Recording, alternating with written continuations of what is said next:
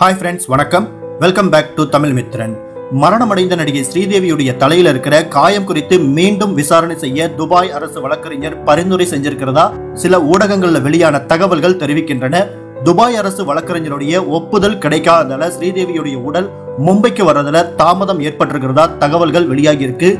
துபாயில உறவினர் வீட்டு திருமணத்துல கலந்துக்கிறதுக்காக நடிகை ஸ்ரீதேவி போனப்ப அங்கு திடீர்னு மரணமடைந்தார். சனிக்கிழமை இன்னைக்கு மரணமடைந்த ஸ்ரீதேவியுடைய உடல் இன்னமும் இந்தியாவுக்கு கொண்டு வரப்படல. துபாய் சட்ட விதிமுறைகளின்படி வெளிநாட்டவர் யாராவது மருத்துவமனைக்கு வெளியே இறந்துட்டா மரணம் குறித்து காவல் நிலையத்துல வழக்கு பதிவு செய்யப்பட்டு தடயவியல் சோதனை நடத்தப்படும். அதுக்கப்புறமா எம்ஃபார்மிங் செய்யப்பட்டு அவருடைய நாட்டுக்கு அனுப்பப்படும்.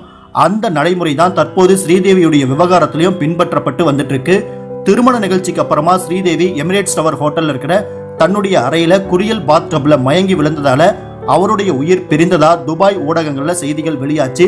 அவருடைய ரத்தத்துல ஆல்கஹால் கலந்திருக்கிறதாகவும் தடயவியல் அறிக்கையும் பிரேத பரிசோதனை அறிக்கையும் தெரிவித்தது நேற்றிரவு ஸ்ரீதேவியுடைய உடல் மும்பைக்கு கொண்டு வரப்பட்டு விடும் அப்படின்னு தெரிவிக்கப்பட்டது.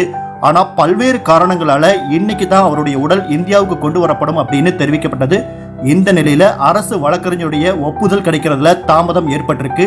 நடிகை ஸ்ரீதேவியுடைய உடலை மீண்டும் பிரேத பரிசோதனை செய்ய சிறப்பு மருத்துவ குழு நியமிக்கப்பட்டிருக்கு. துபாய் காவல் நிலையத்திற்கு போன இந்திய தூதரக அதிகாரிகளை துபாய் போலீசார் திருப்பி அனுப்பியது இது மறுபிரேத பரிசோதனை அல்ல தடைய அறிவியல் ஆய்வுக்கு மட்டுமே அப்படின்னு விளக்கம் கொடுக்கப்பட்டிருக்கு. அரசு வழக்கறிஞருடைய ஒப்புதல் கிடைக்காதல ஸ்ரீதேவியுடைய உடல் மும்பைக்கு வரதுல தாமதம் ஏற்பட்டிருக்கு. நடிகை ஸ்ரீதேவியுடைய தலையின் பின்புறத்துல ஆழமான காயம் ஏற்பட்டிருக்கிறதா தகவல்கள் வெளியானதை அடுத்து காயம் குறித்து மீண்டும் விசாரணை செய்ய துபாய் அரசு வழக்கறிஞர் பரிந்துரை செய்யப்பட்டுள்ளதாகவும் ஊடகங்கள்ல வெளியான தகவல்கள் தெரிவித்தது.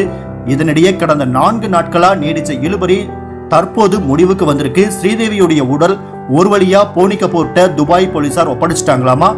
இதை தொடர்ந்து எம்பாமிங் செய்வதற்கான நடைமுறை மேற்கொள்ளப்பட்டு இந்தியாவுக்கு கொண்டு வரப்படும் அப்படின்னு துபாய் ஊடகங்கள்ல வெளியான செய்திகள் தெரிவிக்குது.